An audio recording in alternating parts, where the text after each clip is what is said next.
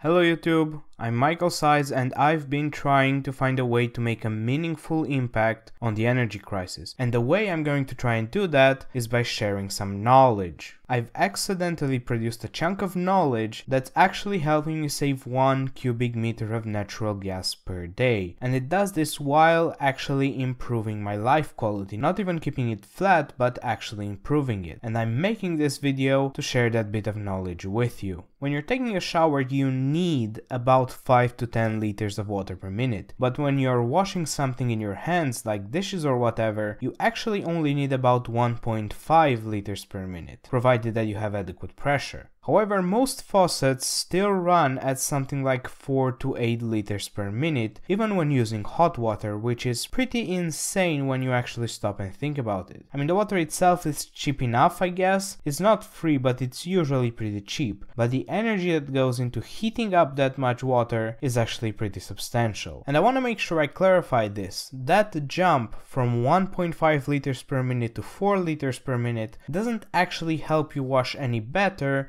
or wash any faster. It literally doesn't do anything except literally pour your money down the drain. It's by solving this problem that I've managed to save 1 cubic meter of natural gas per day, but solving this problem was actually quite complicated because most solutions turned out to have significant issues. First of all, you can't simply put a restrictive nozzle on a regular faucet because if this solution is going to work at a kitchen sink, you're gonna need to be able to fill up your cooking pots quickly. We need a solution that allows the cold flow to still go up to 8 liters per minute like normal, but which restricts the hot flow to only 2 liters per minute while maintaining adequate pressure. Secondly, a simple restriction of flow might not actually be possible as a retrofit at all. For me, it turned out not to be. I own a natural gas fired combi boiler, which is basically a tankless water heater that's also hooked up to work as a central heating system. These devices are very popular here in Europe because they're inexpensive and they are again tankless, meaning meaning that there is no idle waste heat. They produce hot water at the same rate that you're using it, so they produce it only when you use it.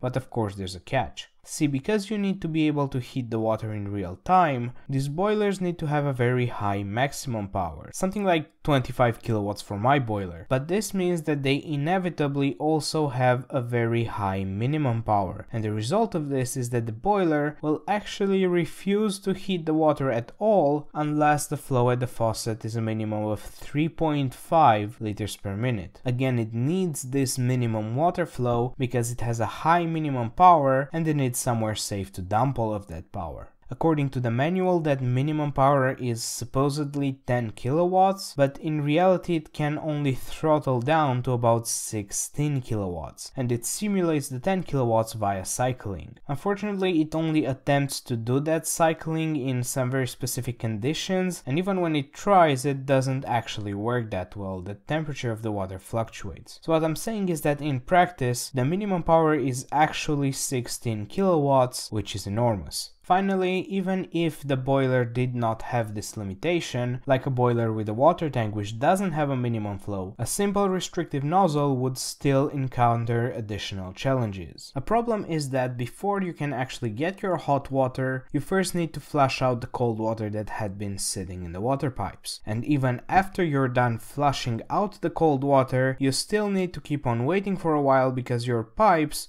are also cold and until they get up to temperature they're gonna be sucking all the heat out of your water before it gets to you. This waiting happens with any central water heater regardless of whether or not it has a tank and it's a substantial amount of time even with the regular high flow nozzle. I used to wait something like 40 seconds for that cold to flush out and flushing it out through a restrictive nozzle would take unacceptably long. Not to mention that if you're using a water heater with a tank in order to solve the minimum flow problem, you're actually reintroducing the heat loss problem when the whole point of this exercise was going to be efficiency. The waiting time problem could technically also be solved by using a recirculating system, but that's first of all it's a nightmare to install, it's tons of hardware and tons of labor, and it also makes the waste heat problem even worse than with a simple tank. Way worse in fact, and it also adds idle electricity use. So here is the solution that I found. It's an off-the-shelf product, which at first looks like the dumbest idea in the universe, but it actually solves all the problems listed above without any real compromises. And this solution is electrically heated water faucets. These things cost $18 at my local hardware store, so it cost me $36 for the kitchen and bathroom sinks. They have an electrical resistance inside, they plug into a 240 volt outlet, they use exactly 3 kilowatts of electrical power when making hot water, and they make hot water in real time, just like a tiny tankless water heater right there in the body of the faucet. The water dial turns one way for cold water and the other way for hot water. Both directions get the same range of motion, but through that range of motion, the cold flow will vary between 0 and 8 liters per minute, while the hot flow will vary between 0 and 2 liters per minute. And because the nozzle is designed correctly, there is no loss of pressure. You still get significant pressure even at 1.5 liters per minute. It's pretty clever actually. The electrical switch itself is actually operated by a diaphragm. So when you turn the dial to hot, the water is routed in such a way that it comes into contact with the diaphragm. The water pressure pushes on the diaphragm and thus closes a switch on the other side of it. No water pressure results in no electrical contact. It isn't the dial that connects the electricity, it's the water pressure itself. The dial does make a clicking noise at the middle point, which at first had me thinking that it contained a switch, but that's not actually a switch, it's literally just a device that makes a clicking noise. The only way to adjust temperature is by adjusting the flow, which I can tell you from experience works a lot better than I expected it to work. You actually develop the muscle memory quite quickly and the exact temperature doesn't really matter that much. The only thing that this faucet cannot do well is it can't fill up a sink with hot water. I mean it can, you're just gonna be waiting forever. This is fine in my opinion, I've never understood that style of washing stuff. I wash everything under running water exclusively, sticking my hand in a full sink of dishwater just feels unsanitary. In the beginning I told you that this device actually improved my life quality. And there are two reasons why I'm saying that. The first and most important reason is that this is true instant hot water. No more waiting for the pipes to warm up, the hot water is made right there on the sink and you can have it in seconds. The second reason is that with this upgrade, your sinks will no longer interfere with your showers, which is important in a household that has more than one member. In my opinion, these two benefits are significant enough that I would keep using these faucets even if I had no concern about efficiency at all. In fact, I told you in the beginning of the video that I found this bit of knowledge accidentally, and this is actually how it happened. I got these faucets initially to improve my life quality in the two ways that I mentioned. I started measuring the energy consumption out of pure curiosity, and then I found out that I'm actually saving tons of money. Speaking of which, which I think that's been enough qualitative analysis, so let's move on to quantitative analysis of the actual amounts of savings you can get with this. As I said, I own two of these faucets, which means I've spent a total of $36 on them. I've measured how much electricity they use per day, and in the summer it's basically zero because mains water is 25 Celsius, so I just use cold water all the time, but in the winter it's about 2.5 kilowatt hours per day, and that translates to about 50 minutes of operation per day. 50 minutes of operation on the combi boiler at the 16 kilowatt minimum power should use about 1.3 cubic meters of gas in theory, but according to the actual gas meter, my actual gas use has gone down by an average of 1.6 cubic meters per day. And this makes sense because the combi boiler is also wasting gas in that time when I'm waiting for the hot water to arrive. But with the electric faucets, it arrives pretty much immediately. So Sourcing 2.5 kilowatt hours of electricity from a natural gas power plant is going to result in about 0.6 cubic meters of natural gas being burnt, hence my headline number of 1 cubic meter of savings per day. In terms of primary energy at least. In terms of cost, for the cost you're gonna have to also include the water savings, not just the energy, and your prices are going to be different from mine. But for me, the 125 liters of water savings are worth about 20 cents, the 1.6 cubic meters of gas are worth about $1, and the 2.5 kilowatt hours of electricity added costs me about 40 cents. So a net saving of 80 cents per day per winter day that is. Of course in summer it's pretty much zero. In total I would estimate the savings to be about $160 per year, meaning over 400% yield on my $36 investment. Correspondingly, I estimate the primary energy savings at about 200 cubic meters of gas per year. There are 100 million households in the European Union. If 10% of them are in a position to benefit from this device and they eventually make the same investment that I have, that could save in total up to 2 billion cubic meters per year. In terms of climate impact, the 2.5 kilowatt hours of electricity will always produce less CO2 than the 1.6 cubic meters of gas. Even if the electricity is coming from coal power plants, you can see the numbers on screen. It's also very important important to remember that any solution which is electrified is automatically renewables ready. I can run my electric faucet on electricity coming from wind and solar, but my combi boiler is always going to require gas. This turns out to be important in terms of national security also, because I can run my electric faucets on electricity made from coal or fuel oil, but my combi boiler will again always need gas. Optionality is valuable.